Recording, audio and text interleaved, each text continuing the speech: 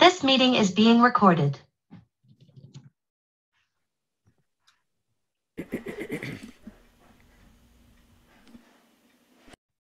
Okay, I think we'll go ahead and start.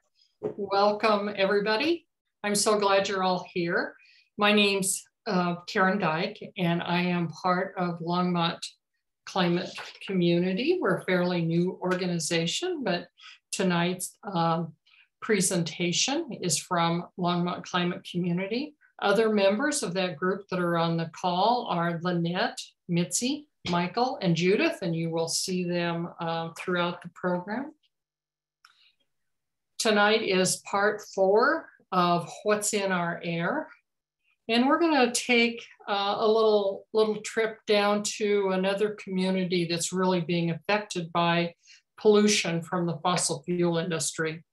And then um, I want to remind you that at the end of, um, of the, well, my screen's, uh, um, I'm sorry, my screen's flipping around here.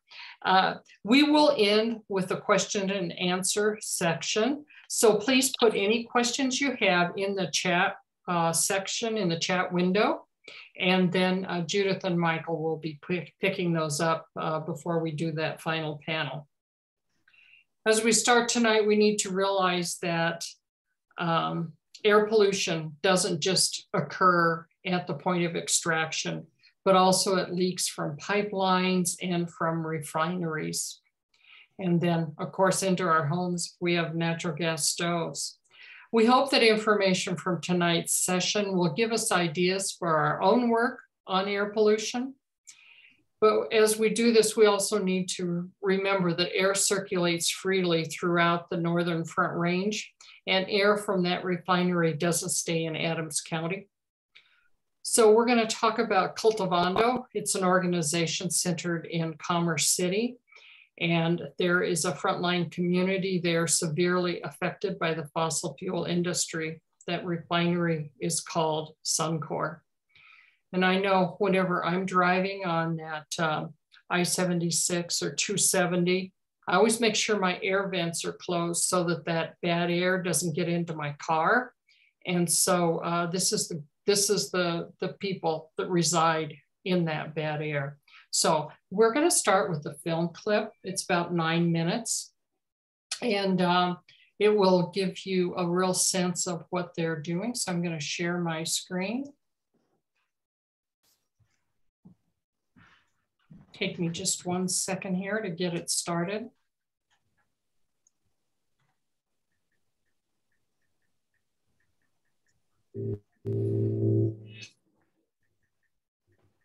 I reside in what we now call um, Commerce City, Colorado, which is really the homeland of the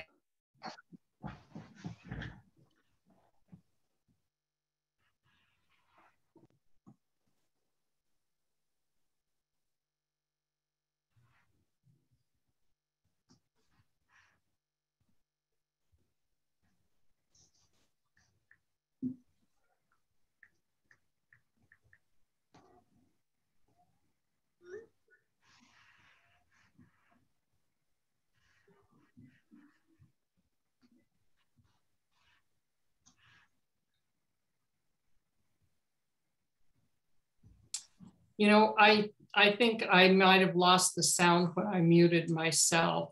Can you hear now? Yeah. I reside in what we now call uh, Commerce City, Colorado, which is really the homelands of the Ute, the Cheyenne, the Arapaho, the Lakota, the Kiowa, the Chicano, and 48 tribes that still live and travel through these spaces.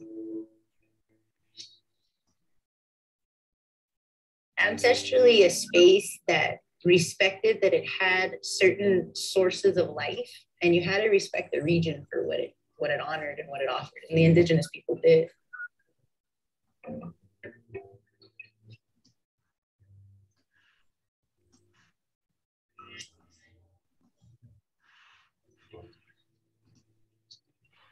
They want all of the resource with none of the responsibility of restoring the source of life that they're taking that is where I have grown up my entire life, where I have practiced our traditional ways of life. I think a lot about Suncor being right next to the Platte River. Those very same waters are right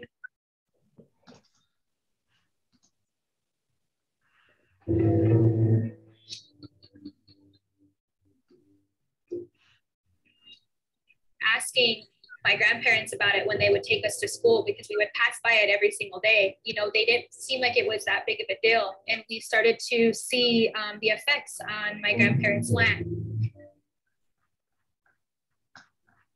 My grandparents would wake up in the morning and they would have this film um, that's on their cars. And since then, it's only gotten worse. And that film is like a yellowish type of color.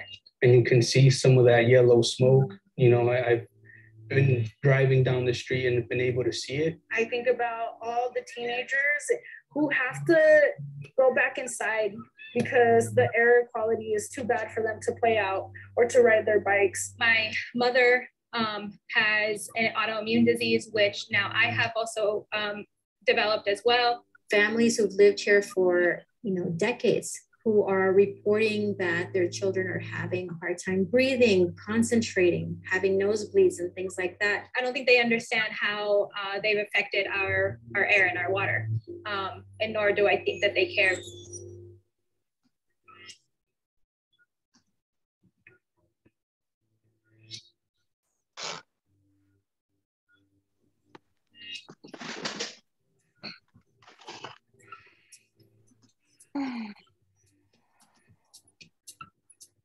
Children had to shelter in place at school in December because of a large yellow plume of ash released by Suncor. Because they come from a space that they can take the resource without ever restoring the space. A life giver understands the rebalance of taking part of that resource for balance, but mostly restoring the space when you're in there so that resource can continue.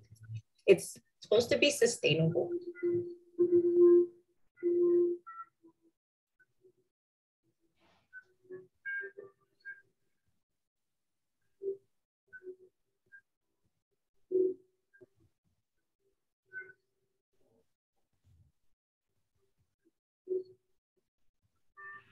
Because it is so close, you know, and because they don't always disclose what's in the air, you know, what's being emitted, uh, we don't really know how it's going to affect us.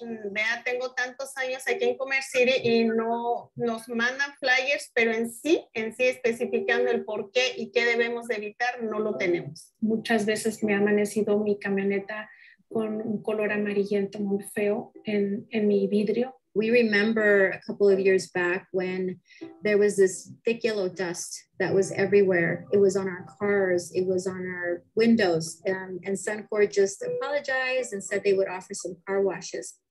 O tengo otras conocidas que me dicen que sus hijos padecían de mucho sangrado y con el tiempo el doctor les fue diciendo que quizás era por el medio ambiente. Entonces también mis hijos pasa mucho de eso y pues a veces no sabíamos pues por qué, hasta que vas investigando y vas sabiendo, entonces pues tiene que ver como con la, en la contaminación en la que vivimos. A lot of the people in my house, you know, they get migraines. Personas que conozco por lo menos tienen a alguien en su familia con asma. Those are some of the things that have been reported by a lot of people in these neighborhoods, right?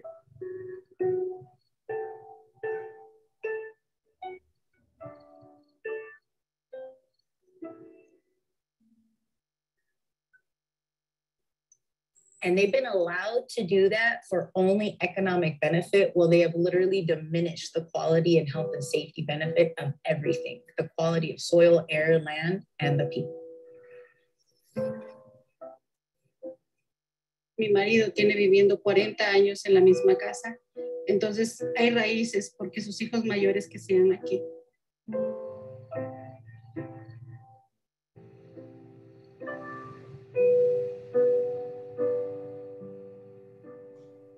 Vea, lo que espera uno de un buen vecino es que siempre estemos en comunicación. Ser un buen vecino es cuidarnos unos a otros y ayudarnos unos a otros, mantener nuestro vecindario limpio. Pero pues un buen vecino es alguien que no te daña y que quiere el bien para ti. When we take care of the earth, the air, the water, we also take care of ourselves and our family, our descendants and our ancestors.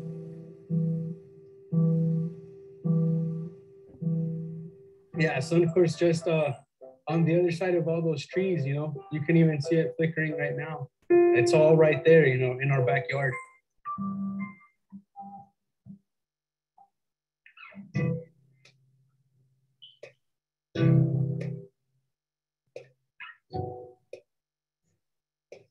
To me, a good neighbor is someone that I can trust next to me. Good neighbors are there to, to love you and your community just like you love them. You share that space. That is not a neighbor. That's a monster. It's killing our children.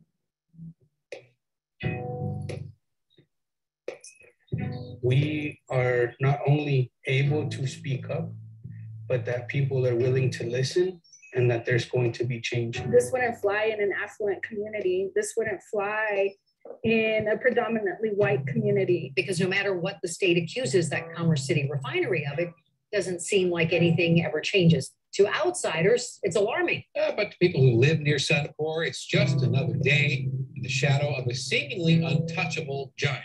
Eh, me entristece más que nada por el hecho de que cuando yo supe que eran ellos mismos los que se regulaban, eh, me entristeció mucho porque sentí que no les importamos como, como, como personas, como seres humanos. Now that we know that this is mm-hmm. happening to more of us, then we feel like the strength of the community, the strength in numbers.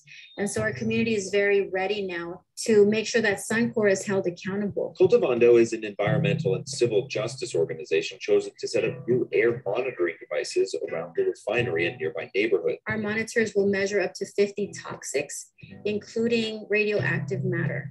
The information that will be picked up from these monitors will then be fed into a bilingual website, which we will also be creating, and will list all the toxics that have been detected by the monitors, as well as the associated health conditions that are tied to those. The people who have to live around an industrial zone are the low income families, are my people. You know, if not enough people are speaking up and, and trying to advocate for our communities, and that's when we have to step in. Estamos aquí, somos vecinos, somos comunidad y que pues no es justo que nos esté perjudicando de esa manera.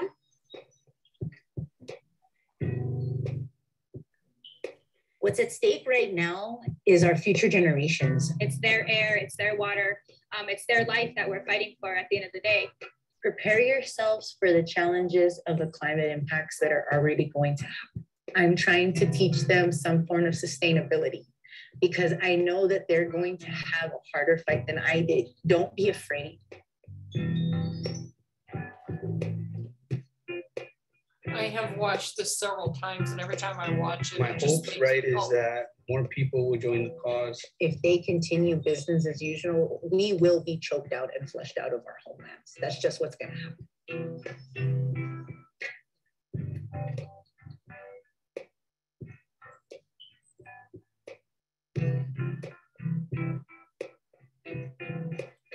Now, I think it's the end. I'm sorry, I didn't mean to butt into the video there. Um, But every time I watch this, I uh, think about how awful it must be to live in, um, in that pollution. It's hard enough just knowing we're here downstream from the fracking and know that we have benzene and toluene. That's really uh, awful. I forgot to uh, mention at the beginning that um, this video, along with uh, the first three presentations, can be found on Longmont Public Media and also on our new website, Longmont uh, Climate Community. And um, it's also on YouTube if you want to um, look, go out on YouTube. And I'm going to share a different um, different presentation now.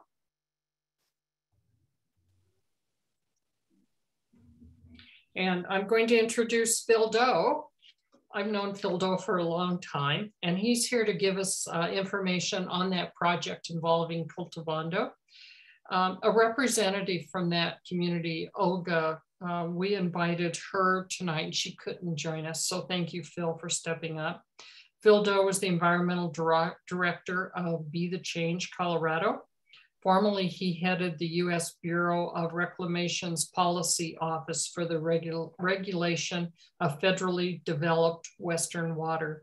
He was also a federal whistleblower on 60 Minutes.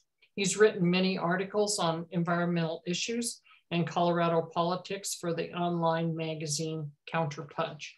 Phil. Um, thank you, Karen. Um, uh, let's go to the first slide, would you please? Brand new details for you tonight on the power failure at the Suncor refinery that sent that orange smoke billowing into the air two weeks ago. Take a look at that. Pretty scary, right? The company officials, though, they acknowledged the accident released over 75,000 pounds of sulfur dioxide right there into the air. That's 150 times more than the daily limit. But state officials say the release did not pose any health risk. Okay. Next slide, please, Karen.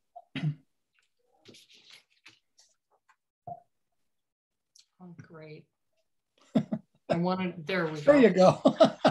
we, got, we, we got it, Karen. We're just. It takes a village. It takes a village. you know, the only thing I can do with my hands is use my toothbrush. But so um, let's talk a little bit about who Suncor is. Uh, they're the second largest corporation in Canada. Uh, their chief source of profit is the mining of tar sands. They're the largest tar sands miner in the world. And as you know, James Hansen said if they develop all the tar sands in Alberta, game over. Now, as for the refinery itself, it started back in 1940, maybe even a little earlier. It's gone through numerous changes. Suncor bought it in 2003 and 2005 from Conoco and uh, Valero, respectively. It produces about 100,000 barrels of, of oil and gas a day. Most of the jet fuel at DIA comes from Suncor. Most of the asphalt used in the state comes from Suncor. About 55% of the diesel in the state comes from Suncor, 35% of the gasoline. Uh, tar sands from Alberta, 1,200 miles away, makes up 15% of the production. When, when, Suncor, when Suncor bought the Conoco and Valero uh, refineries, they paid about $200 million for both of them. They spent, according to them, about $400 million upgrading the refinery. But I think most of that money was spent on bringing a pipeline from uh, Canada down to the, the Suncor refinery. So that's how they got the tar sands down there. The dirtiest fossil fuel there is. Okay, next slide, uh, Karen, please. Uh, what is the Cultivando project? Well, one thing it is, is the continuous monitoring, first time ever, of Suncor air pollution. One thing you have to understand about oil and gas development in this state and throughout the United States is oil and gas monitors itself. The state does not monitor. It's been said that self-regulation is to regulation as self-importance is to importance. Once you add self as a modifier, the world changes completely. And that's what happens at Suncor. You have no idea what's going on out there. But let me tell you some of the chemicals we were concerned about when we started developing this project plan. I don't have greenhouse gases there, but I'll just say a word about that. Suncor has a permit to emit 800,000 tons of greenhouse gases a year. That's CO2 and methane it's hard to explain how great that volume is. But um, I used to say that, well, the static weight of the Empire State Building is 346,000 tons, and it weighs, it's almost over two times that, but that's, those are apples and oranges. What you can say is that in 2019, 188,000 cars were bought new in the state of Colorado. The tailpipe emissions from all of those 188,000 cars is about equal to what Suncor does. It's supposed to be the second largest polluter in the state, Comanche 3 being first, but Comanche 3 doesn't operate very often. So I think that Suncor is probably, from a greenhouse gas standpoint and from other pollutants, probably the largest emitter in the state. Benzene, uh, the World Health Organization says there's no safe limit for human humans around benzene, yet Suncor has a nine parts per billion permit. It exceeds that, as the, as the slide showed you, as Cultivando's uh, slide presentation or movie presentation showed you, they exceed it all the time. 2012, they got a $2 million fine. They've had other fines. Um, EPA estimates that they probably reach two tons of benzene a year. Hydrogen cyanide was developed as a pesticide. It was used in the First World War as a poison gas in the trenches, first used by the French. It was later used by the Nazis, of course, in the extermination camps such as Treblinka in the Second World War. Suncor has had a tremendous problem controlling its cyanide, hydrogen cyanide releases. It started out a few years ago about 10 tons and it kept going up and going up and going up because it's not, it's there, there's not a standard for it under the Clean Air Act. They ask and the state gives them approval. But it finally got up, they asked for 20 tons a year and all hell broke loose. And the people in, around um, in Commerce City, around the Suncor refinery, said, what the hell's going on here? And that's where the whole, that's when the whole issue of these two pollution permits, which have been expired, one for over a decade, started to surface. And people started to learn that they weren't they weren't giving these health they weren't giving these permits for pollution based on any health considerations but what they could do under the clean air act uh, suncor also uh, re, uh, releases about 12 tons tons of hydrogen sulfide which is another gas poison which the british used in the first world war start getting a picture here of this place is just a little house of horrors and the sulfur dioxide of course is what everybody sees. That's what you see in that slide below. And this, you know, they, they've had huge sulfur di dioxide releases over time. The one that, that uh, they showed in the Cultivando film in 2016, they have a permit for 500 pounds a day. They released 75,000 pounds. It closed down an interstate highway. All the schools were locked in. They had to do a reverse 9 11 for all the houses within a two mile range of the Suncor plant. It happened again in 2018. This time there were these, these uh, pellets of uh, clay that came with it. It covered the entire area, all the cars.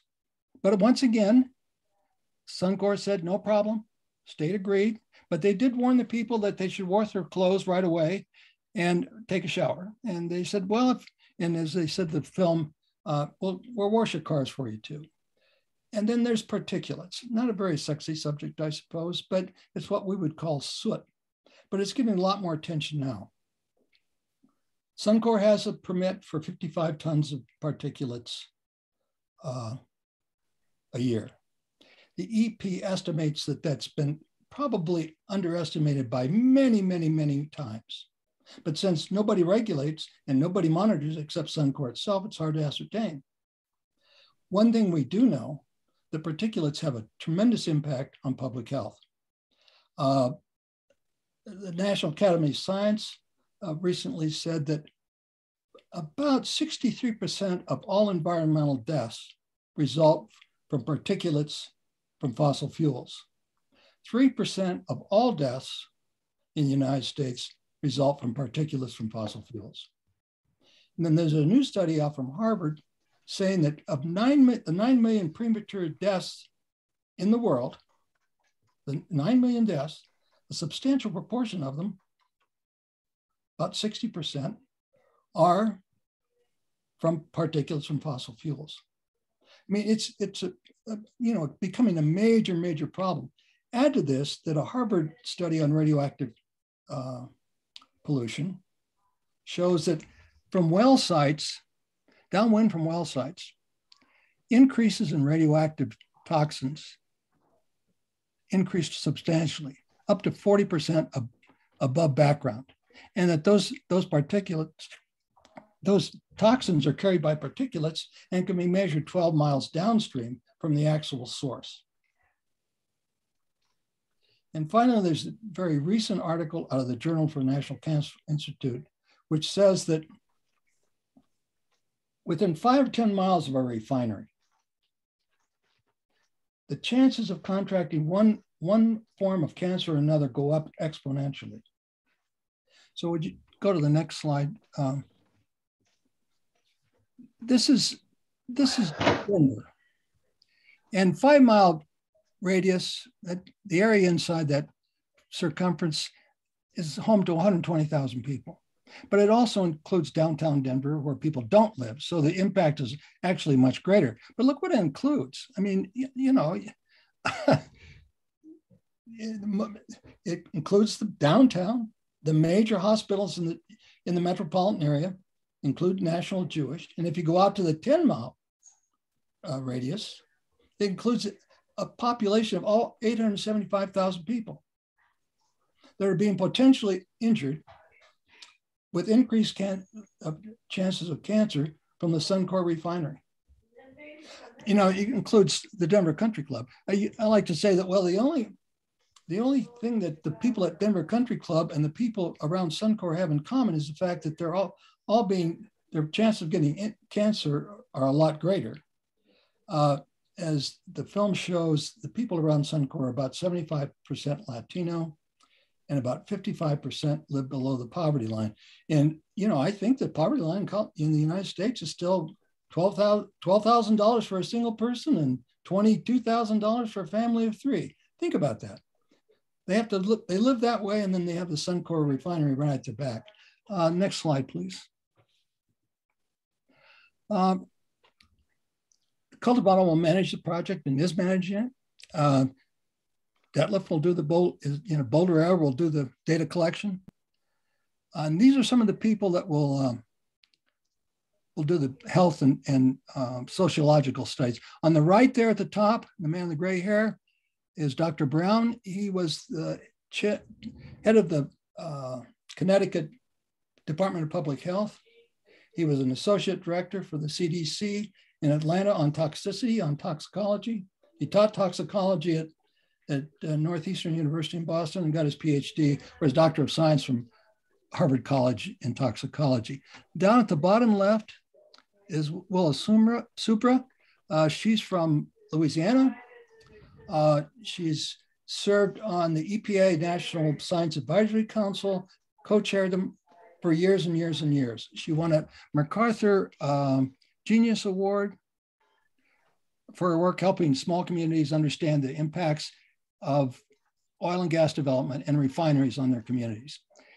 The middle two women are Ramona Beltran. Uh, she teaches sociology at DU.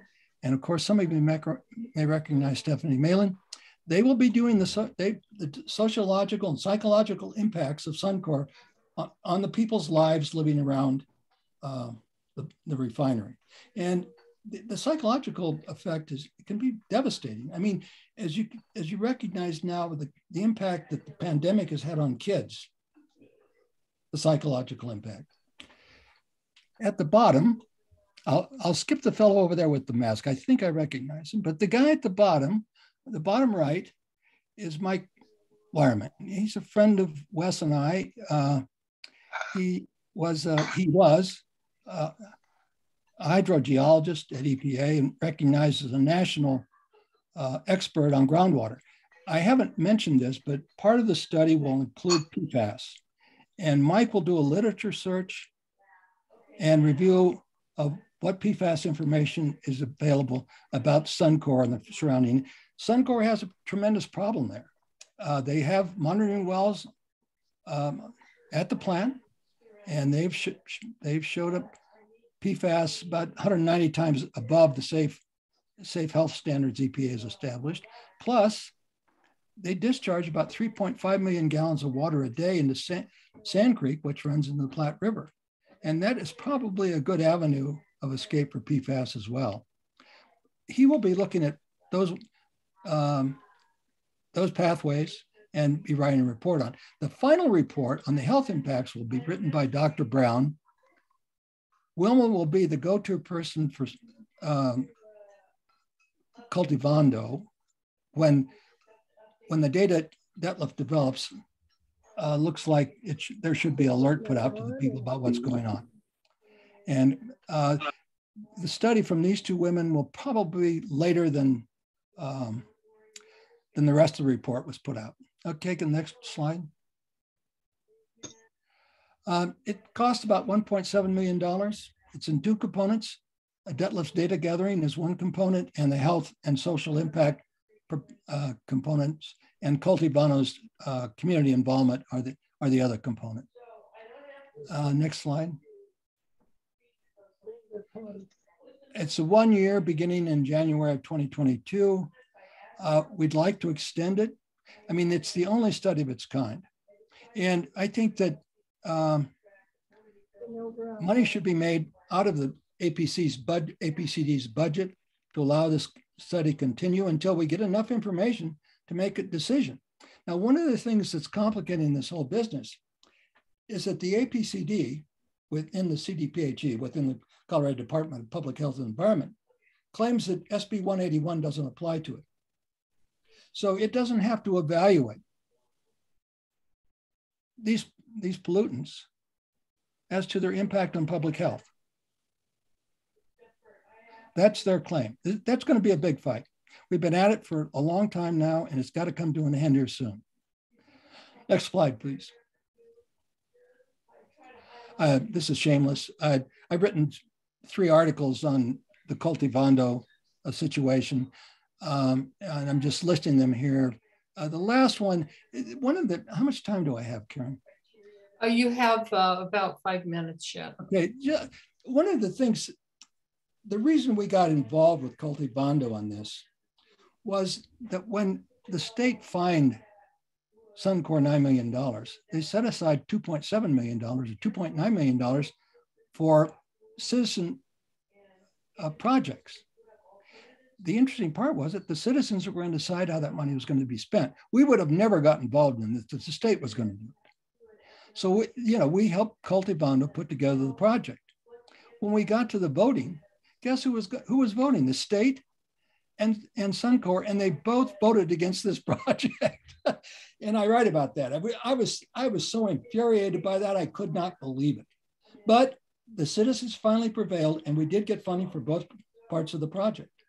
Um, this, this one down here, that the more than two dozen major lawsuits, it's kind of interesting because as, as you read in the paper recently, uh, Boulder County is suing both Suncor and, and uh, uh, ExxonMobil uh, over the climate climate disruption. It'll be interesting to follow, but we can't wait for that. We've got to get Suncor either closed down, and I think that's probably the only real option, or it's got to quit killing people slowly or quickly, as it's doing now.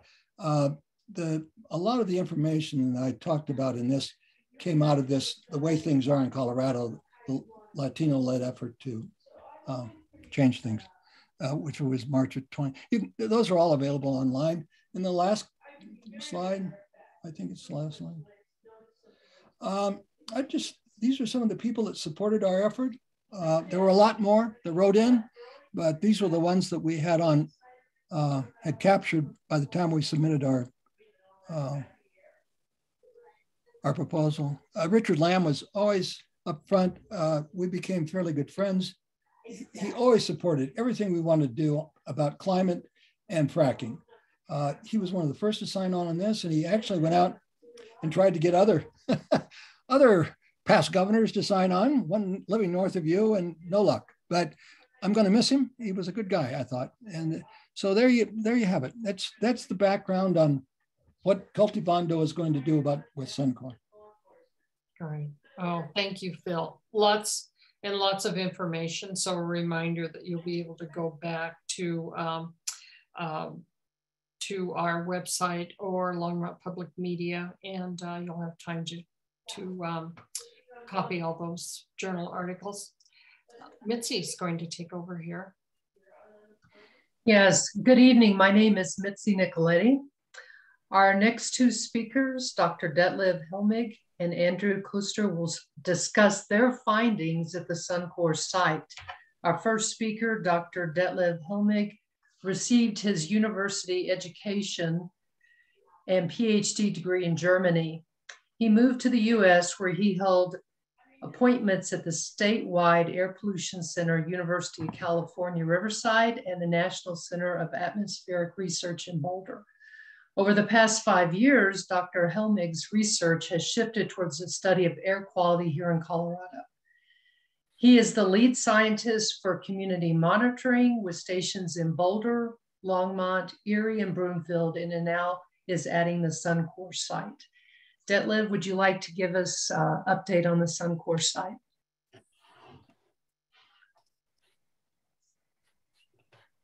Yes, thank you, Mitzi, and um, good evening, everybody. Good to be here again. Um, is that screen sharing working? Can you see my presentation slide? Yes. Good, good. Okay, I want to give you um, an update where things stand with the implementation of an air monitoring program in Commerce City. And I have first shot, a few data plots to share with you as well, but want to emphasize this all very, very fresh, very new, and still rather preliminary. Yep. So um, probably most of you have seen this in the past. This is what we've been um, developing the last four five years, a network of monitoring stations here in um, the uh, Colorado Front Range. Um, these are the existing operating sites, um, shown data and presented this many, many times. So what's new, bottom right here, so we've been adding two new locations to um, this network, um, two sites in Commerce City, and we've named those um, Commerce City Fixed Site, CCF, and Commerce City Mobile Site, CCM, and I will um, show you now what we're monitoring and where things stand with um, setting these sites up. So in this table here, in the left column shows the measurements that are planned for the um, fixed site location, again, CCF. Um, let me walk you through this. It's a very um, long list, and I would um, claim, as far as I know, this is probably the most comprehensive air quality monitoring in the state um, that's ever been done, as far as I know. So the um, fixed site on the left has the meteorology, we're measuring ozone, carbon monoxide, carbon dioxide, nitric oxide, nitrogen dioxide, sulfur dioxide, hydrogen sulfide, methane, volatile organic compounds, and that includes many, many compounds, and I've only listed two here individually. Individually, that's benzene and hydrogen cyanide.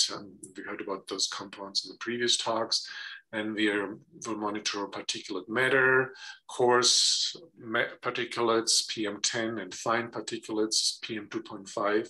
And then really for the first time um, in this capacity, we'll be monitoring the radioactivity.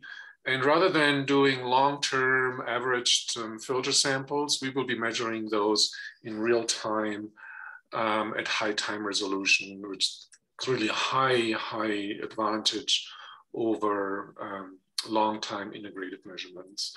Then we have a mobile um, facility that has a smaller um, selection of measurements here, meteorology, nitric oxide, nitrogen dioxide, and again, VOCs. And then it has a community monitoring program. Um, I will show you in a moment um, what that entails. Um, but let's look at the um, the, the trailer facilities first. The fixed site you can see in this picture here. It was installed in late November. It's north of um, Suncor and that houses all these measurements that were left um, listed in the left column. Um, the mobile trailer is a little bit smaller. Um, since it has a, a, fewer instruments, it's also deployed um, as of right now in Commerce City. And this is um, these are the components of the community monitoring. So these are air monitors, samplers that are placed um, at community sites across the area. And there are three components. There are these small purple air particulate monitors, which you see in the left picture. Then um, we will deploy these um, passive samplers for volatile organic compounds. It's shown in the middle. And on the right, this shows these canisters, these, these round steel canisters, and they're also used to sample air when there are occurrences of poor air quality. We will give those to citizens so they can um, open these canisters and, and, they will then suck in air and close the valve, and we will then analyze those for volatile organic compounds in one of our laboratory trailers. This shows where these are currently deployed. In the very center there, kind of this little picture is roughly where the Suncor refinery is located. Straight to the north is this, this fixed side, and the yellow dot, the mobile trailer, it will move around about every two weeks. It's currently um, a little bit to the northeast of the Suncor refinery. And then these um, purple air um, particle sensors, we have more than 20 of those installed right now. And you can see how they are distributed at all of these um, purple dot locations. Um, again, I want to show you um, a little bit more where the fixed side, our central side is located, um, that, that brownish trailer. And you can see it's a pretty straight shot from the refinery to the north, maybe um, less than a mile, half a mile. And we, we looked very, very hard for a long time to find a suitable location, trying to find one that was in, in a straight airflow without any other interfering potential sources in between. Um, that's the best we could come up with. And it's been there for two months and measurements are currently ramping up. This is a status report where things stand as of right now. Um, the deep green color show monitoring that's up and running, fully uh, quality controlled. The lighter blue, these are measurements ongoing. We're still um, working on some of the calibration um, procedures for those measurements. Um, the other ones are in preparation. At the fixed side, the VOC instrument was just made operational the last two days. We um, anticipate this will go online in the next week or two. The particulate monitor just um, was shipped today, should go online in the next few days. The radioactivity measurements, it's an instrument uh, which was ordered in December and is anticipated to arrive in, in April. Um, the, the mobile trailer is up and running with VOCs. Um, we're just not reporting them yet to the website. Um, the particulate measurements on the purple airs are running and the passive samplers for the VOCs and the canisters we accept to um, start in um, March. We've also developed a web portal where these um, data are being reported. The site is up and running. You can see the URL here in the title. It reports current air quality conditions in this um, very simple, um, simply designed color scheme to report air quality in, in green, yellow, orange, red, and so forth. You see the scale there. And then below is um, other data in tabulated format. Um, and there's also another tab um, where you can see the data plotted as time series, we call these. This is the last three days of data. Uh, you're probably familiar with this by now since the other sites have a very, very similar format. And you can see this actually data all the way through today for three of the gases, pollutants that we're measuring at the um, Commerce City fixed site, ozone, carbon dioxide, and carbon monoxide. Um, another component of the project is dispersion modeling.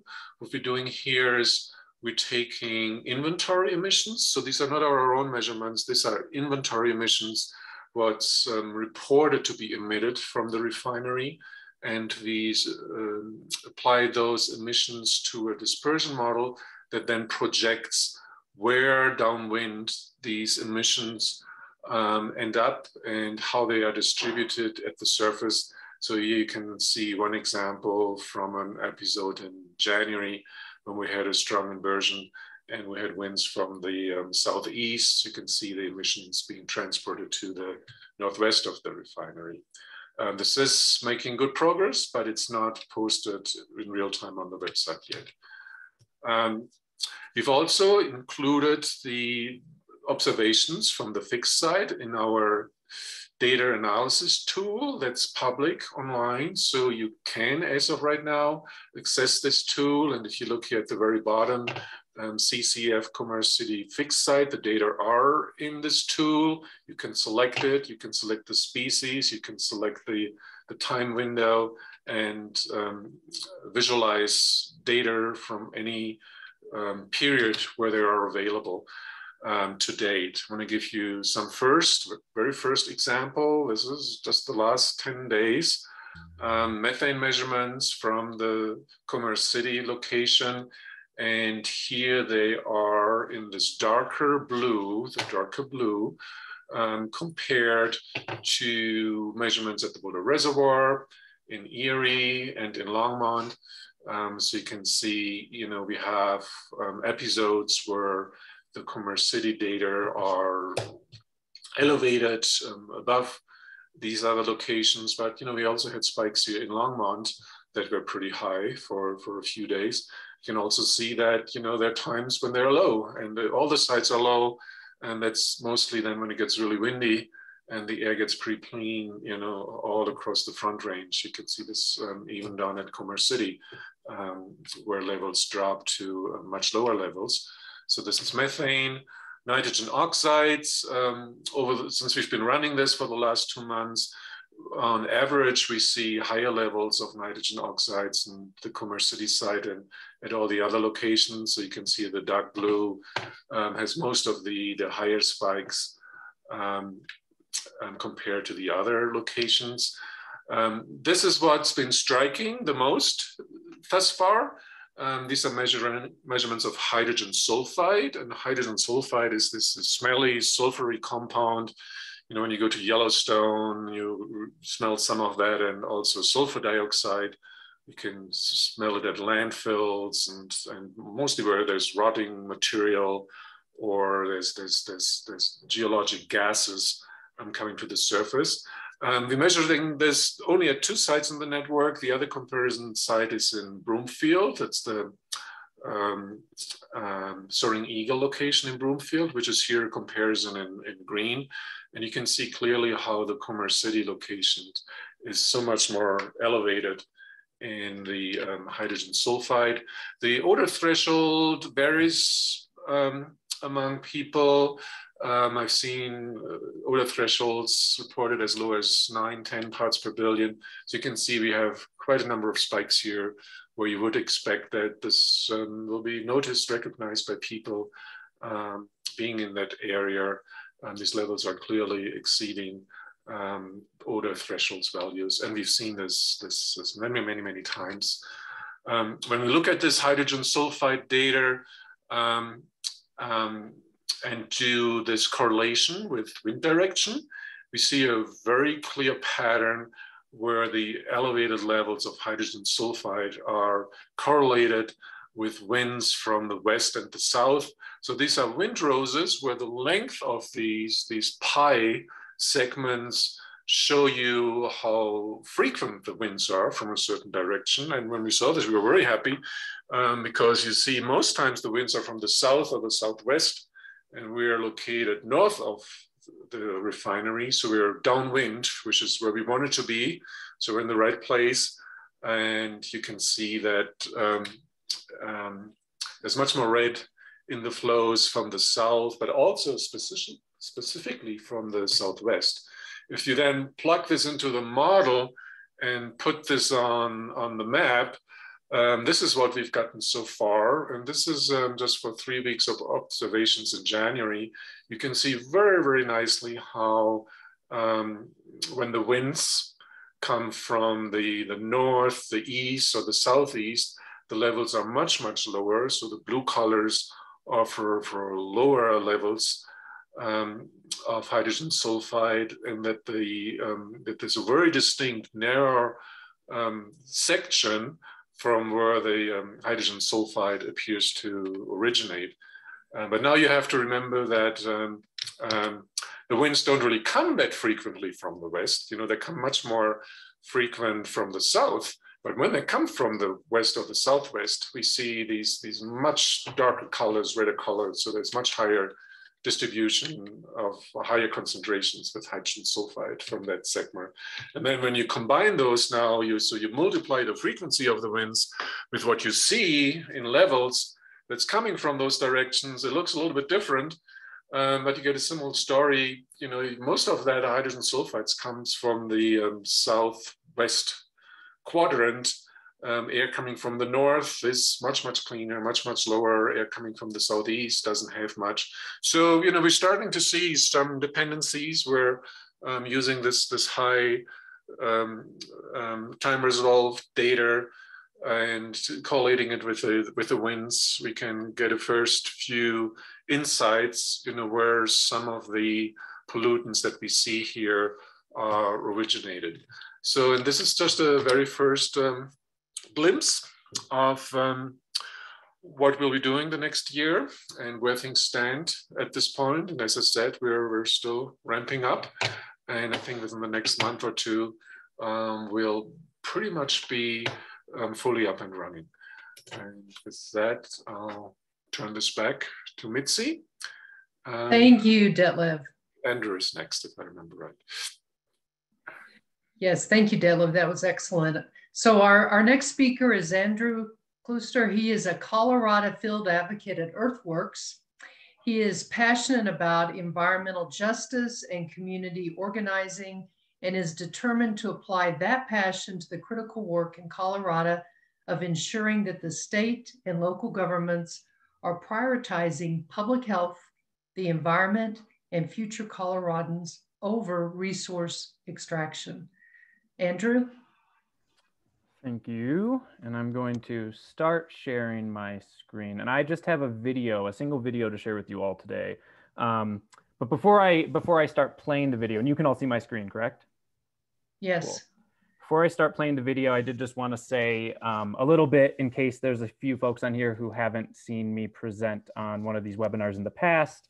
Um, as an employee with Earthworks, I'm a certified optical gas imaging thermographer, which is quite a bit of a mouthful, but essentially what that means is I am trained to use and operate optical gas imaging cameras or OGI cameras. And these are specially designed infrared cameras that allow us to visualize pollutants that are otherwise invisible to the naked eye. And the camera model that we at Earthworks use and I use when I'm conducting field work for Earthworks is the same model that the oil and gas industry employs for leak detection and repair, because this is a camera that allows us to see methane, which is invisible to the naked eye. And as I think we all know, is a major greenhouse gas and a major pollutant from the oil and gas industry. And it also allows us to see other hydrocarbons, including volatile organic compounds, such as benzene, which um, Phil, I think, did a really good job of framing for us as to why we should be concerned about benzene emissions.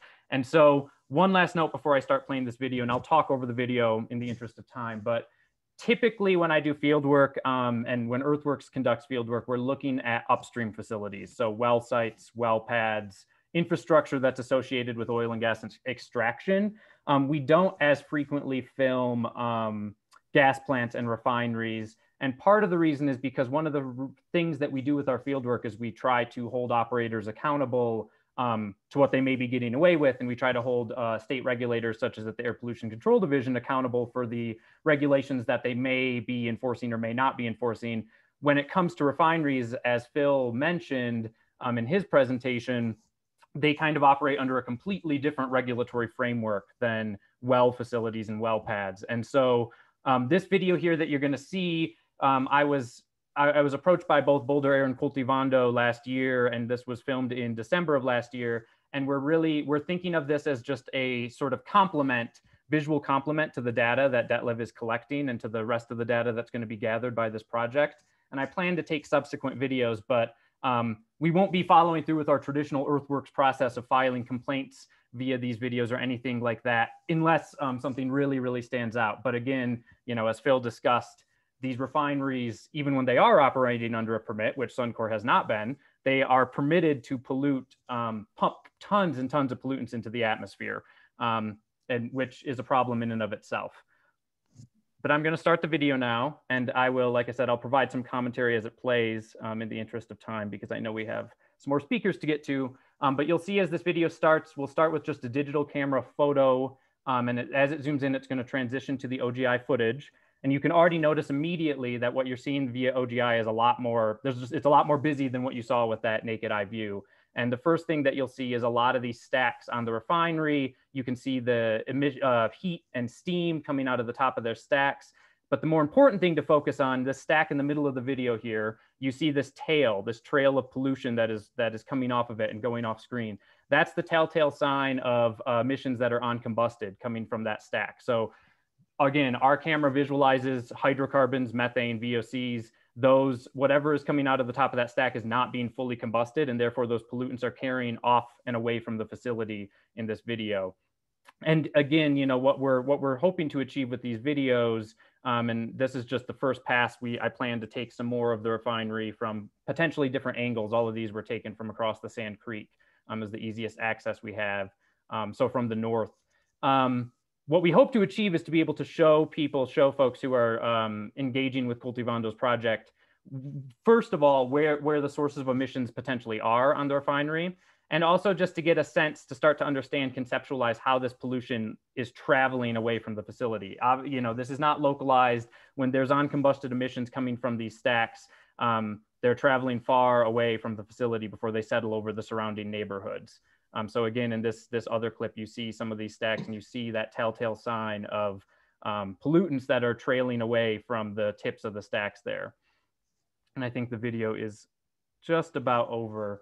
Um, but as I said, this is a first pass. This is the first edited video we've thrown together. We plan on over the course of the year um, taking additional videos and continuing to complement um, all of the data, air quality data that Detlev is collecting and Boulder is collecting. And we'll probably have much more to share in the future. Andrew, thank you. We look forward to seeing more footage this year. Um, it's alarming what we're looking at, but thank you for being here tonight. And now what we're gonna do is move on to the next portion of the webinar, which is our panel discussion. If you have any questions for panelists, please put them in the chat box. Andrew Klooster, Phil Doe, Dr. Detlev Helmig will be on the panel, but we're also gonna hear from Mike Foote, Jonathan Singer, and Mayor Joan Peck. Mike Foote, former Colorado legislator and current environmental energy attorney. Jonathan Singer, former Colorado legislator and current executive director of Logic. Joan Peck, longtime environmental activist and current mayor of Longmont. We're going to ask each of these panel members to give us a quick summary of what they're currently working on, and then we'll start our panel discussion. Mike, can you please start us off with an update? Yeah, happy to. Thanks a lot, Mitzi, and um, thanks to everyone for uh, joining us here tonight. Um, what I'm going to be talking about here for a few minutes, hopefully I'll make it a fairly quick summary, is about a recent report that I completed for the Sierra Club, the Colorado chapter of the Sierra Club, regarding the Colorado Oil and Gas Conservation Commission and how it's been doing over the last year since their mission change rules went into effect. Um, so, you know, it, the, the report was extensive. Um, I am not going to just put it up on the screen as a PowerPoint because you can read it yourself if you haven't read it already. And um, also, I'll put a uh, link in the chat here after this is all done so that you can take a look at it. But um, so basically, I was I was very happy to to help um, um, put this information together. Sierra Club wanted to know the answer to how things are going with the COGCC a year since the mission change rulemaking occurred, and the mission change rulemaking occurred.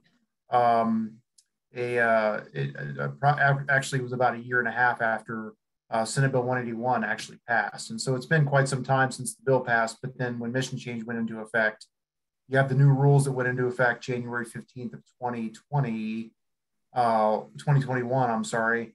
And they just wanted to know how it's going. And so I guess, you know, um, I'll summarize it this way, you know, like when you see on social media, you kind of have the split screen of, you know, it says how it started and then how it's going. and, um, and, and so the way that I would summarize it, I guess, is if I had to put together a meme along those lines, I would start off with how it's going, which was the bill being passed, or you know maybe a picture of the governor signing the bill back in April of 2019, and how it's going. I think I would probably put a picture of somebody, you know, hanging on to the edge of a cliff and um, uh, in danger but um, also not having lost hope. They haven't fallen off the cliff yet. Um, they can still get up off the cliff, but clearly that's kind of a perilous situation. And that's really how I would put how things are going with the COGCC now after observing it for a year and looking into the documents and um, really just trying to put pencil to paper to figure out exactly how the new commission has been implementing the law. Um, so there's going to there's four areas that I'll just point out in particular in this little um, uh, summary. But of course, if you want more information, you can always go take a look at the report. Um, the, the, the, the first area that I'll talk about very briefly is just kind of a general permitting philosophy. Um, I'll talk then about um, cumulative impacts and what they're doing or not doing with, with regards to accounting for cumulative impacts of oil and gas development. I'll talk about setbacks and what's happening there.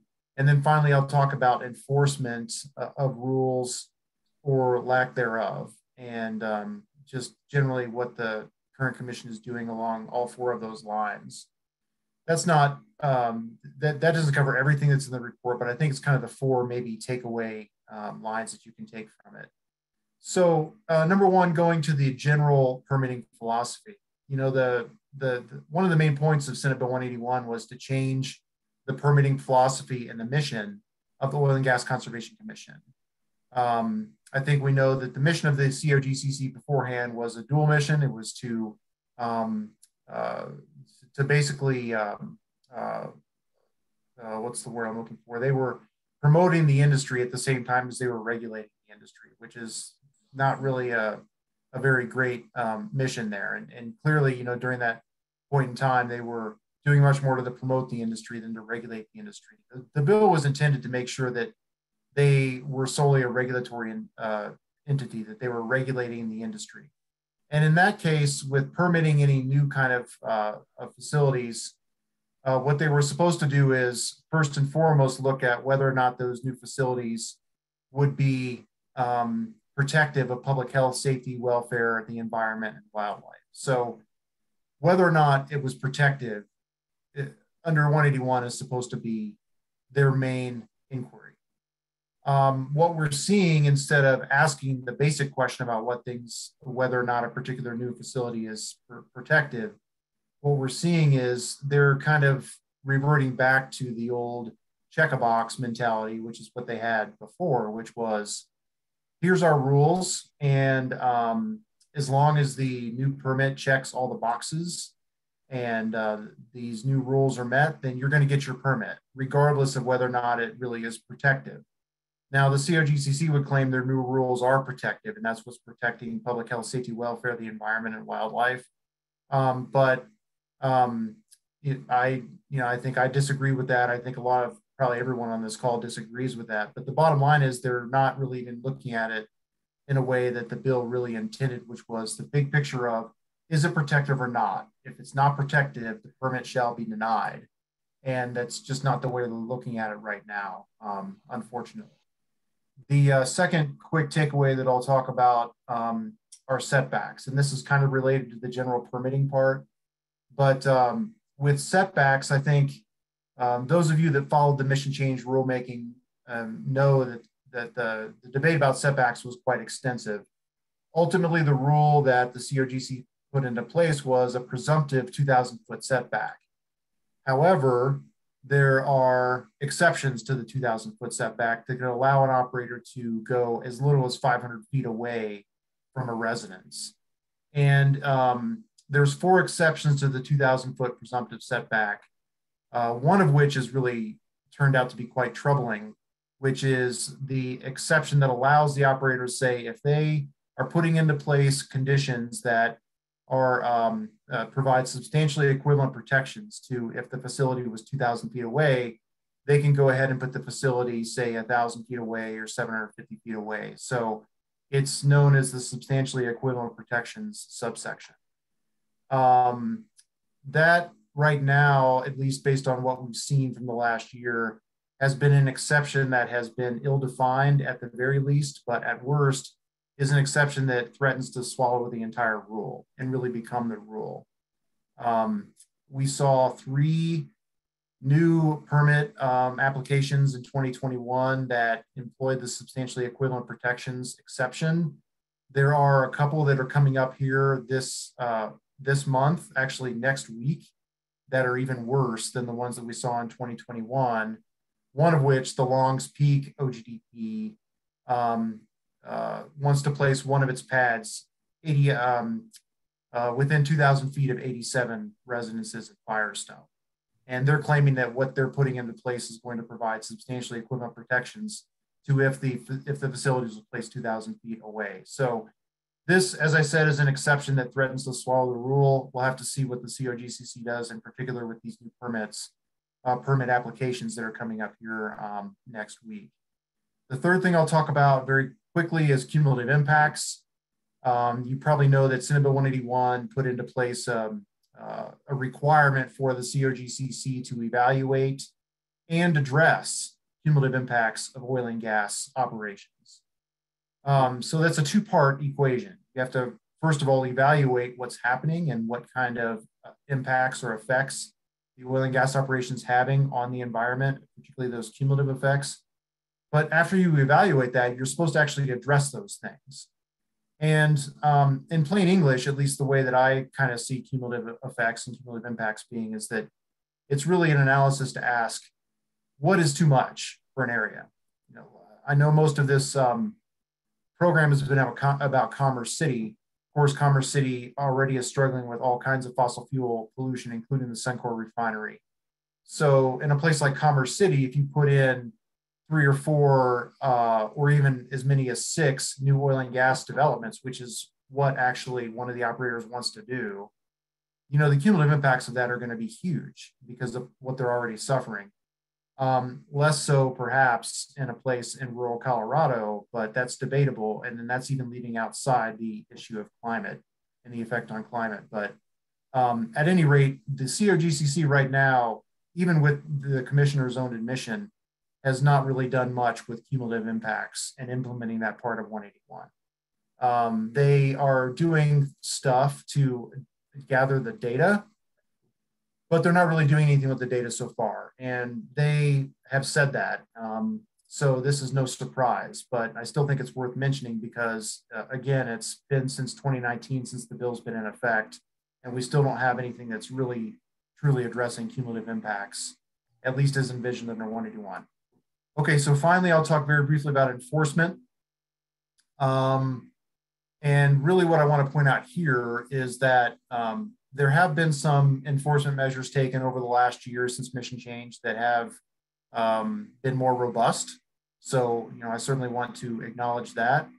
I, I call it in the report a two steps forward, one step back approach um, because there have been some steps forward, but there's also been some steps backwards too like um, letting a, a, major violator um, cut their fine down um, more than half that, that was assessed against them, for example.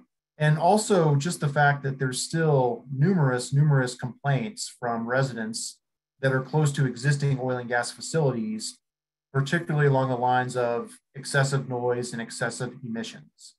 Um, we see this in jurisdiction after jurisdiction. The facilities that they're complaining about are facilities that were permitted before Senate Bill 181. Um, but nevertheless, the rules that cover those facilities are, are in existence now after 181, and they're not sufficient enough to protect nearby residents against excessive noise and emissions, among other things. But noise and emissions are really the two main themes that we're seeing. So that still exists. That's still out there. That's still happening. It's still affecting people in a real way. And it just was something that I felt was important to point out in the report. So I guess I'll wrap it up there um, for now, unless there's any kind of Q&A or people want some further information about it. Um, you know, it's, it's something that I felt very uh, privileged to be able to work on to report. You know, unfortunately, I'm not in a position to pass any laws to do anything about it at this point. However, you know, folks can still go through the legislative process and um, and try to get um, legislators to really address these types of things. It's not unusual to have a uh, quote unquote cleanup type of bill that's introduced after a major bill. Um, and to me, it seems like some of the provisions in 181 that are not really being implemented kind of scream for a cleanup bill, although it certainly won't be a simple cleanup bill. So I'll leave it at that. And again, thanks for your attention and thanks for having me on. And look forward to any kind of questions you have about it. And in the meantime, I'll also put the link to the report um, in the chat box. Thank you, Mike. I encourage everybody to read that report. Um, and thank you for all the work you've done, Mike, on it. Next, uh, Jonathan, can you give us an update on what you're doing currently? I can. Uh, so hopefully you can hear me okay. Um, so uh, uh, first of all, I just want to say uh, thank you. Welcome to my basement. I'm glad we could fit all 44 of you in there.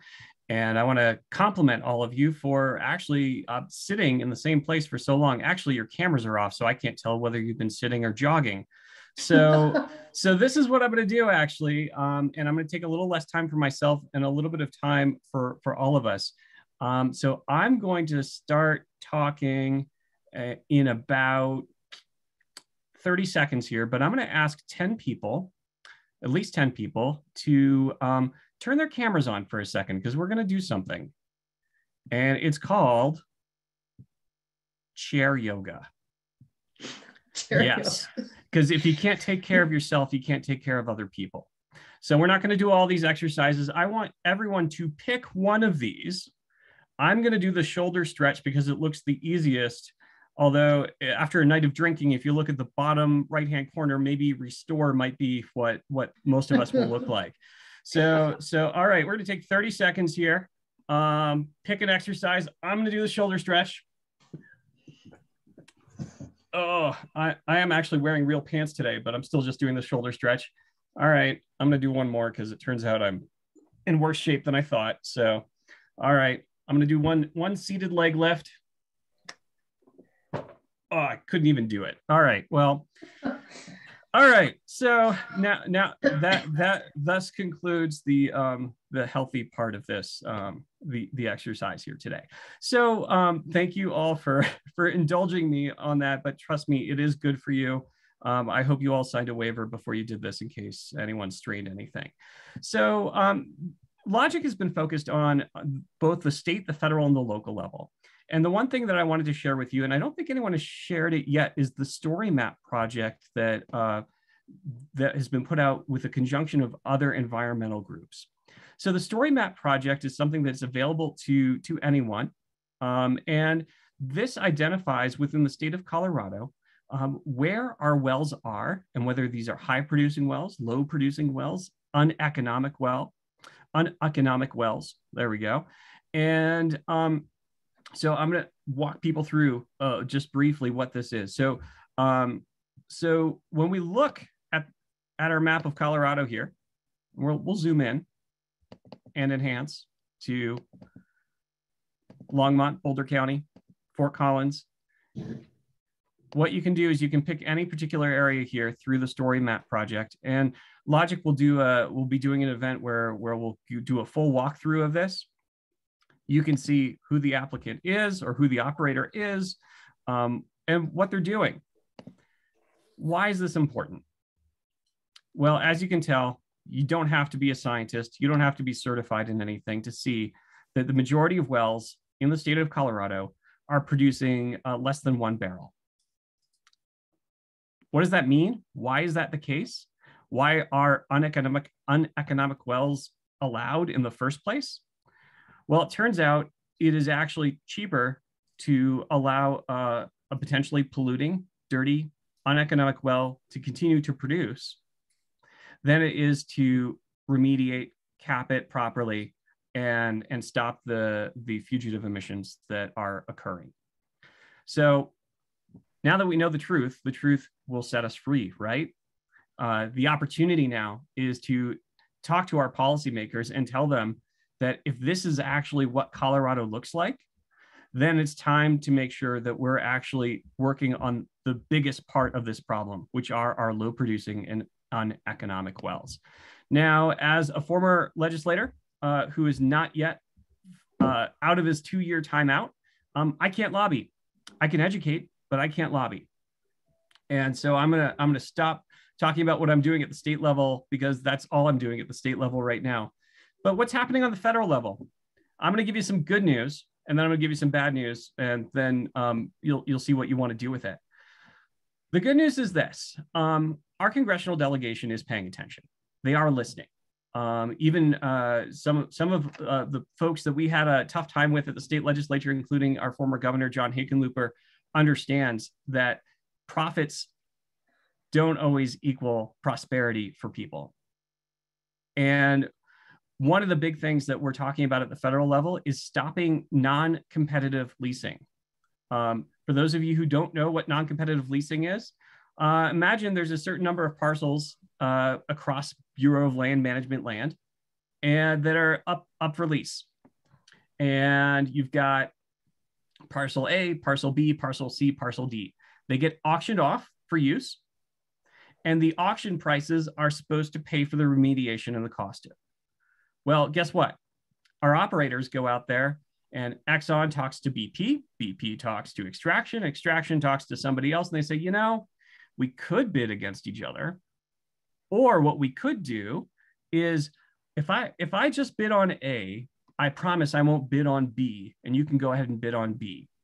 And Extraction, if you want to go ahead and bid on B, um, don't bid on C because we're going to let Exxon do that. So now we, the people, are getting pennies on the dollar back on what uh, what is rightfully ours. So um, John Hickenlooper actually wrote an op-ed supporting the end of non-competitive leasing. This was brought up actually um, in the Build Back Better bill. And our favorite, or at least favorite, West Virginia Senator uh, Joe Manchin was not opposed to this. The bad news is this Build Back Better is still not going anywhere. And so now the question is can we salvage the pieces of the Build Back Better bill and put them into other pieces of legislation or put them as standalone pieces of legislation to see them pass? And so I, I wanted to give people a little bit of hope um, along with the cynicism. And, and the last thing that I wanted to share with you is what we're doing at a local level. You heard a little bit about Firestone. Um, you saw uh, with Andrew's presentation um, some of the fugitive emissions that are happening up in Larimer County right now average everyday people who had nothing to do with oil and gas are standing up every single day. Uh, there's a woman uh, by the name of Suzanne who saw that oil and gas was coming into her community right by the golf course and the bike path in her neighborhood. She started a change.org petition that Logic saw. We called her up and said, Hey, Suzanne, we saw your change.org thing. Do you need some help? And she goes, there's people that help with this? we said, yeah, that's why we're here. Uh, we knocked on doors and we talked to people. We talked to people who are definitely not Democrats, um, definitely not progressives, people who actually have worked in the industry um, or who have family members who are in the industry. And we said, we said, hey, this is going to come within 1,500 feet of your home. Well, that can't be the case. I've worked in the industry before. This is this happens somewhere far, far you know, out in rural areas. Nope, it's actually going in front of your planning commission in two weeks. Uh, and if you want some tools, we're going to do a Zoom, tell you how you can advocate for yourselves if you're curious. All of a sudden, people start coming out of the woodwork. People who were either uninformed or misinformed by the oil and gas industry showed up, spoke truth to power, and the Firestone Planning Commission denied that permit. That's the power of not of logic, but the power of local neighborhoods. Now, that was appealed to the city council who overturned that denial. And we have another shot now at the Oil and Gas Conservation Commission, at the COGCC. And we have the ammunition now to be able to say, you know what? The one quasi judicial, non biased governmental um, wing responsible for looking at appropriate land use policies said no. This, to my knowledge, on February 16th will be the first time that the Colorado Oil and Gas Conservation Commission, under the new rules relating to Senate Bill 181, will be able to take that input and say, you know what, we aren't about fostering the industry anymore. We are about regulating the industry. And because of Suzanne standing up, someone who had never done anything in politics in her life, never imagined she would be, uh, would probably be rightly embarrassed if I made her turn her camera on and do seated chair yoga, um, is now a leader and an organizer. And she hates being called those things, but she is. And on February 16th, we will see whether or not the new rules, the new mission and her organizing work can flip this script on its head. So um, instead of instead of carrying on about this, we've got tons more work to be doing um, in the entire state of Colorado. But I wanted to share that one positive nugget of information and uh, look forward to your questions. Jonathan, thank you. Thank you for that story. We look forward to hearing what happens on the 16th. Um, uh, Mayor Joan Peck, would you like to give us a little update before we start our panel discussion? Sure, thank you. And thank everybody for attending. I, I'm always so impressed that there are so many people that are interested in the subject and want some action. You know, I, I enjoyed listening to Mike Foote and uh, Jonathan Singer, and I did read Mike Foote's um, paper, white paper to Sierra Club. Um, the one thing that is frustrating to me is the fact that, and, and on February 16th, I'm, I hope that this turns around on SB 181 because uh, City Council in Longmont had a breakfast, Zoom breakfast with um, some of our, uh, two of our representatives. Uh, let's see, who was it? Karen uh, and Tracy Bernett and Karen, uh, what's her last name? Shoot. Shoot me your last name, Mike. McCormick. McCormick. Yeah, for some reason I'm looking at Lynette and I want to say McLean, and I thought, no, that's not right. It's an MC word. But um, I asked her because Tracy is having a lot of bills. She's writing a lot of bills that are going to be uh, coming out um, to be addressed. And I asked her, when you write these bills, Tracy, and they go to COGCC, who, what is the oversight to COGCC? What is the oversight to make sure that COGCC follows the bills that we have written, that the legislator puts through? Because I've watched Mike for years and Jonathan and Matt Jones struggling with this problem, and it's as though COGCC just acts as though nothing nothing has changed. And Tracy told me both Karen and Tracy had no answer. They had no answer for the bills they're writing to make sure that those bills are followed. So I think that that is a, a huge loophole that uh, we we have got to face. Uh, and I don't know how to do it, but maybe collectively we can figure it out. Um, but I, I love these series, and we're on part four, which I'm thinking is one of the most important because it's really highlighting the need for all of these communities to support each other and work together. With we can speak with one voice, and it's a bigger voice than each little community trying to just turn the tide on what's happening there. Um, and in the very first uh, comment, it was uh, I like the fact that he called it the uh, the untouchable giant. Gas and oil is the untouchable giant. So I want to make that untouchable giant accountable, accountable to us.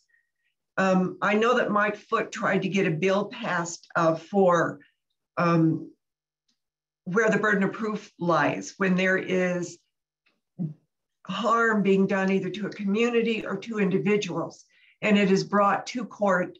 It is taken the next step to get justice, but the burden of proof falls up on the person, the city, the municipality to prove that they have been hurt. Mike's bill, and I wish it had passed, I'm hoping that someone else will take that and move with it. His bill said that it's up to the industry to prove that they did no harm. And that didn't go anywhere, but um, I think that that is really where we need to go because we are fighting a giant that has never been accountable. So um, thanks everybody for coming and I hope that we can continue to work together or on a bigger scale, have a louder voice. So. Thank you, Mayor Joan Peck. And thanks for being here. And now I think we're ready to start uh, some of the questions that have been put in the chat box. Well, how we have...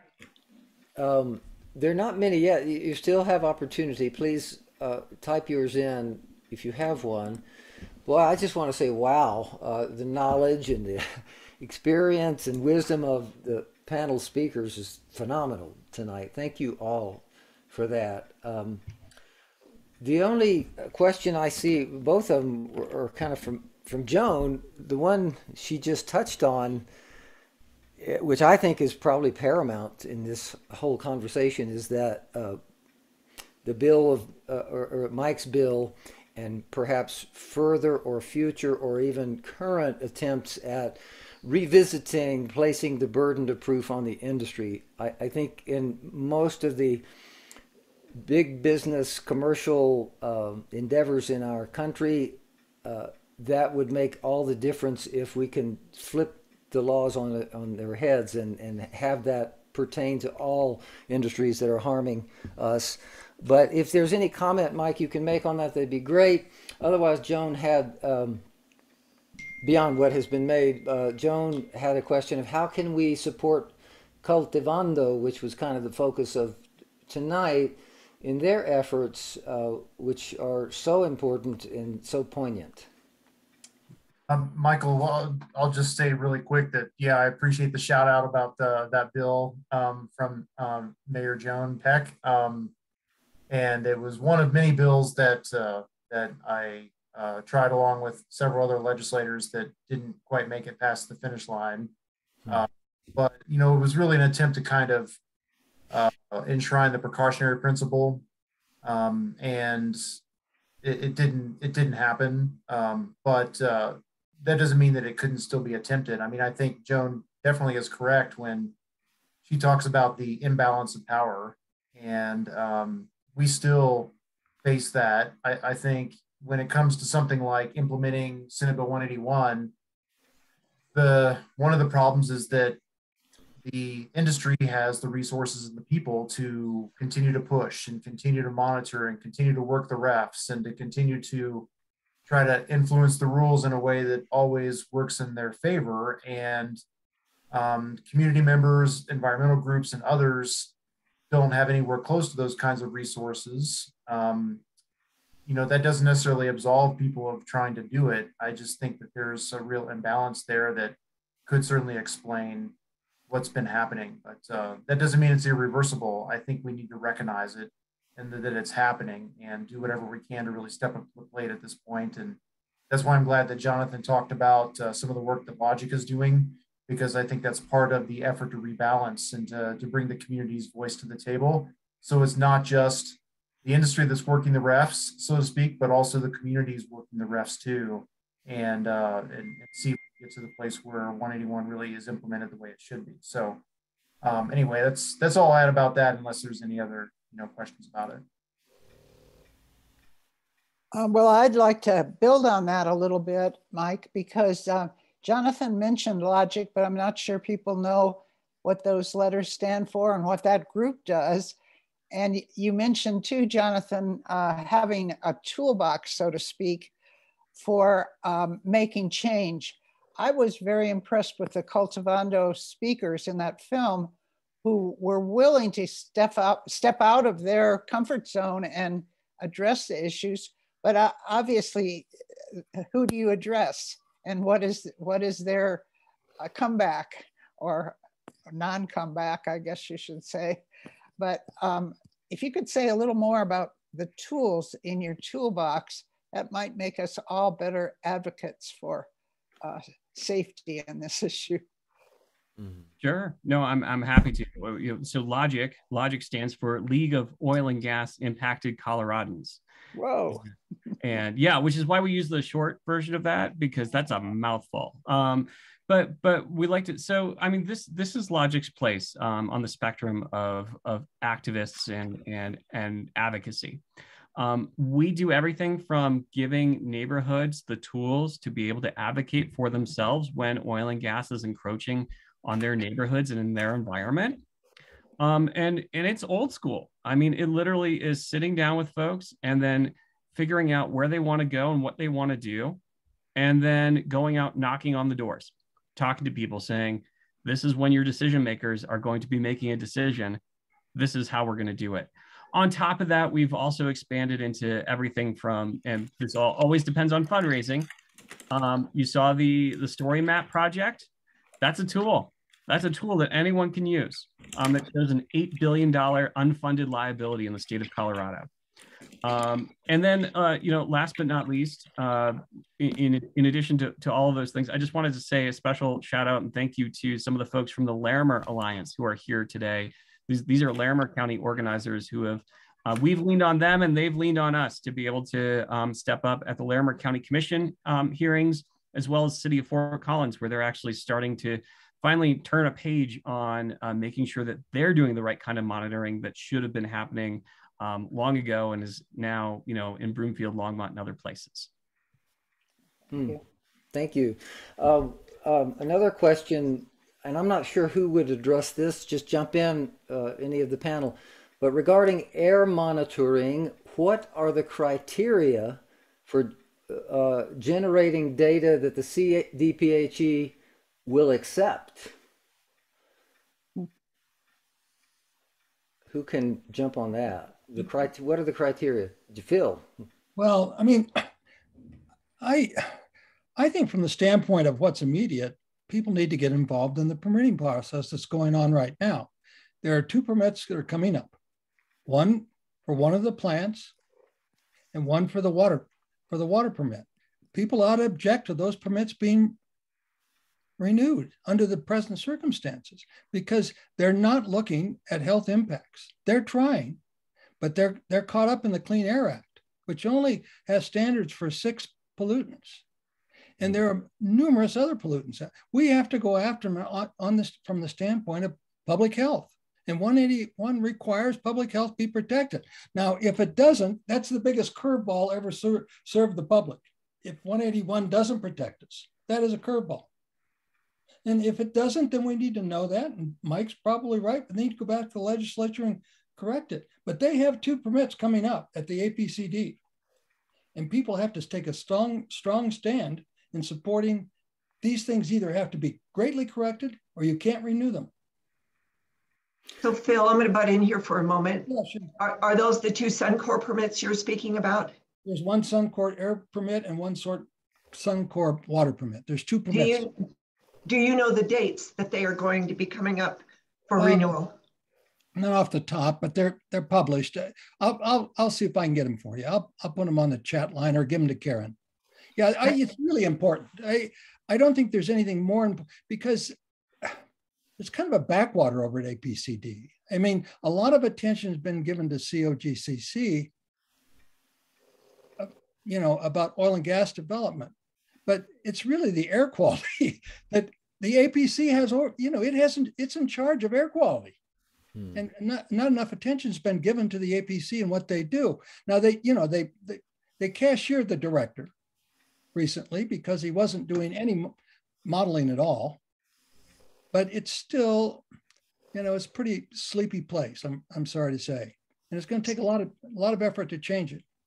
So one of the reasons that I asked is that bringing communities together, working together. This, if we know the dates this is going to happen, we can we can work together to either write letters of testimonial or show up or and I, I would really like to know what those dates are. So if you could get us that, that would be great. You've got two allies with the in the city council in Commerce City, Susan Noble and Christy Douglas, who's just been elected. They would be overjoyed with support. Okay, great. Thanks. No. Jonathan, do you did you have some further comments on this? I'll, I'll just I'll just say this very quickly. Um, Logic has a C4 wing um, that uh, does um, not just political advocacy, but we actually support candidates. The majority of our endorsed uh, city council candidates in Commerce City lost. Um, there are elections coming up, municipal elections coming up in April in Erie. If people aren't paying attention, um, we could see uh, a whole new slew of people get elected that don't care about the things that we're talking about. And then, regardless of how we organize, we may not have the people in the seat of power that we need. Um, and last but not least, let's not forget Democrat, Republican, or if you're an unaffiliated, primaries are coming up in the summer.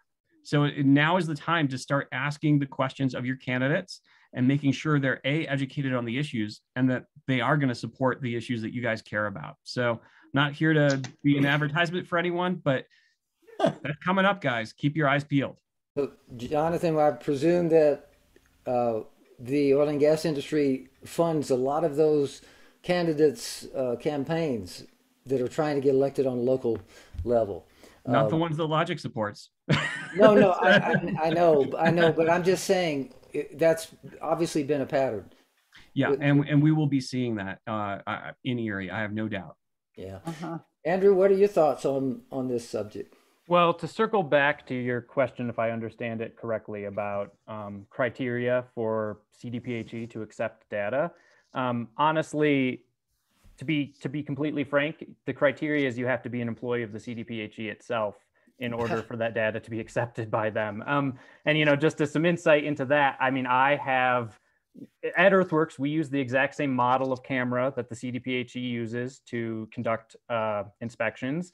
I, when I got my certification as an, o- an optical gas imaging thermographer, there was an APCD employee who was also getting recertified. So we'd go through the same certification process. And yet when I submit videos that clearly show pollution occurring at oil and gas facilities in the state of Colorado, those videos do not count they, they're not considered evidence of pollution. They're not considered evidence of anything by the Air Pollution Control Division. And the only difference is between a video that I take and a video that they take is the person clicking record on the camera. So um, that you know that's that's from my personal sort of experience. But I mean, it, this this applies to citizen complaints. This applies to any sort of evidence that any of us gather about any sort of violations or pollution issues that may be ongoing at oil and gas facilities. As hmm. of right now, these agencies don't consider that they do not prioritize that citizen gathered third party evidence in the same way that they would as if their own staff were collecting it. Mm-hmm.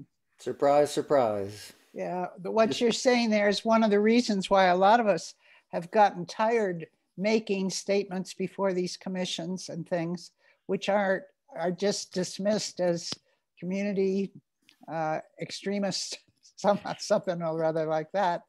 So uh, one of my questions though is about testifying, and is there still time to uh, sign up for this hearing about the Firestone situation and uh, at the COGCC in February 16th.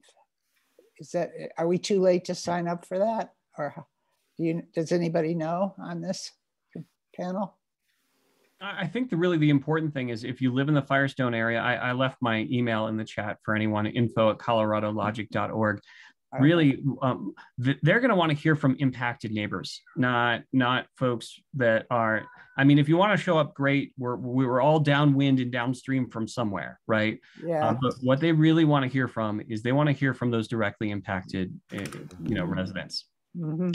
And they want to hear stories more than statistics or uh, science, so to speak. No, well, a little, little from column A and a little from column B. I mean, I, I will be there in my capacity as an organizer, but uh, but I think the important thing is is they they like I said, they really do want to hear from from impacted residents. Mhm. Yeah, one thing I'll say just to add to that is that the um, other new permit, uh, the new permits that were approved back in 2021, none of them had any kind of resident opposition. Now, that doesn't mean that there wasn't resident opposition. It just means that they either didn't know or chose not to show up in order to express that. So the, I, I, I know there's going to be some resident opposition to the Longs Peak OGDP in particular. And so this will be kind of the first time that the commissioners are confronted with some real opposition to a plan. So that leaves me somewhat hopeful that we'll have uh, a good result in this case. Um, but uh, I just think that it's worth noting that, you know, whether it be just because there's been difficulties and people figuring out how to participate, Mhm. whether it's just that the residents don't care, either way, there just hasn't been any kind of feedback, negative feedback from residents on the other permits, at least in 2021. I'm not sure how to. How, uh, Karen, how much time do we have? I know, folks, uh, we're going a little bit over, and Yeah, we're, we're over, but uh, Detlev has his hand up and then um, Lynette's gonna close. I think we're probably about at the end. okay. Uh, You know, the mind can only absorb what the, what the bottom can tolerate, right? So,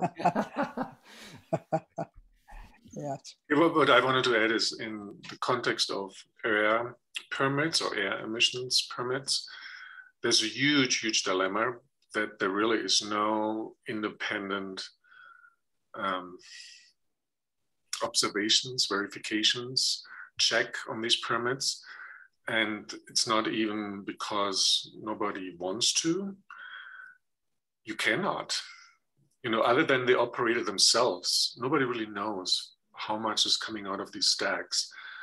Um, you know, even we can we can measure as hard as we can possibly do with our stations that are half a mile away on the ground. These these measurements will tell us, you know, what's in the air at that place near the ground. And it's important because, you know, that's where people live. But how much is coming out of these stacks, we, we cannot tell from those measurements. And nobody else is doing these measurements as far as I know. You know, you would need to have somebody climb up there with a ladder, put a, put a probe into the exhaust and measure it you know every every minute every hour throughout the year. And no, nobody can nobody does. It'd be a very very difficult measurement. It'd be very costly.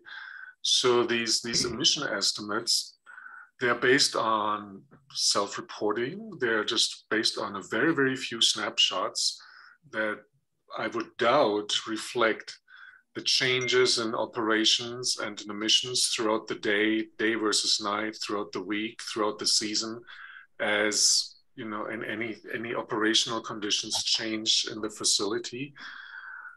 I, I would have no idea how to really verify, check, you know, if what's in this permit is it is it right? Is it too much? Is it too low?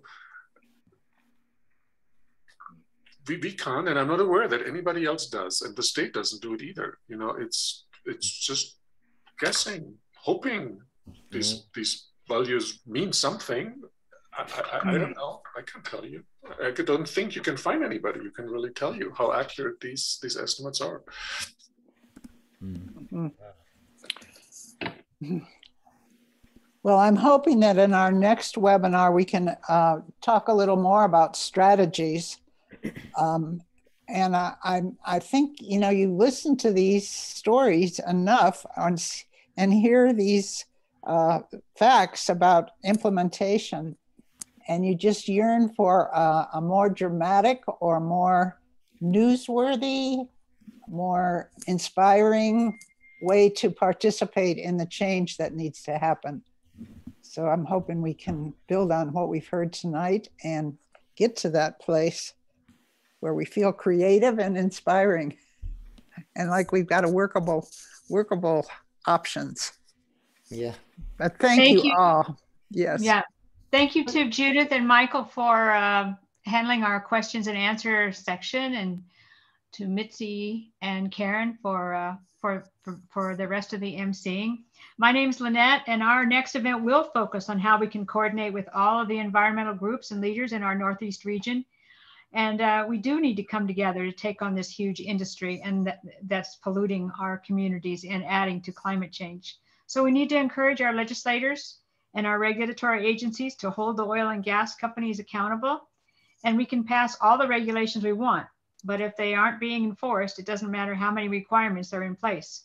So our next event will be an event uh, to pull to pull our region together and to coordinate our efforts. So if you haven't signed up for um, if you haven't signed up for this event or uh, uh, if you don't have, you know, you, if you want on our registration, um, please sign up on our website. Uh, let's see, I, I, have, I think I have it up here, uh, our website address. Um, we have a free website URL, so it's kind of a long one. But um, on our website, we have our last three videos, and we're going to put this one on. And this video is not being live streamed now but uh, Longmont Public Media will put it on uh, in the next probably week or two. They're going to show it. And so their archive will have it. It's going to be on YouTube and it's going to be on our website. So you'll be able to share it and um, you'll be able to look at, look at it again if you'd like to. Um, I want to thank all of our uh, presenters. You did a great job. It was really interesting and informative. And thank you uh, to everybody who attended we had about 44 people here and um, they stayed with us. So that thank you for, for hanging in here with us. I know it's a lot to uh, take in. Um, so there's some links in the chat box in the, in the um, chat box and uh, we'll post those on our website also. um, thank you to everybody. Please stay involved and please sign up on our website for any future events. We're, we, our, our next event, we don't know when or where, but probably in the next couple months, we're going to have it. So, and it's going to be, hopefully we're going to have it live and not vir virtual this time. So thank you, everybody. Thank you to all Thank of our you. speakers. Mhm. Yeah, uh, Lynette, can you maybe turn on so that everybody could um, put things in the chat if they would like? I got a message from uh, Karen Sure. Speed, something she'd like to put in there. There might be other people as well. Yep, there you go. You can, Mhm. anybody can, can, can uh, talk to anybody else now, so. Okay. Great. Thank you, guys. Thanks to everybody for coming. Yes, thank you. Thank you. Have a good everyone. evening. Yeah, thanks a lot. See you, Karen. Thanks so much, Phil. It's good to see Thanks, you again. Yeah, it's good to see you. Thank you, Phil. Thank And you, Andrew. Oh, Detlev. Been a while. It has been a while, yeah. Thank I you, think the last time I saw you was driving down to your house to uh, support Joe Salazar. Oh, you that was, Yeah. maybe that maybe that was a time. Yeah, well, I did. Judith and I drove down there and we got lost. It took us about two hours. Yeah, but you showed up. Well, Yeah. We did. Joe We would have did. been a lot better than the guy we got. I can tell you that. Uh, yeah. Yeah. But don't give up. I mean, they, you know. We will post the recording, uh, Rick. We're gonna post, we will post it. Okay. All right. It's been good All seeing right. Yeah. Good Thanks. night. Bye-bye. You. Thanks, everyone. Bye.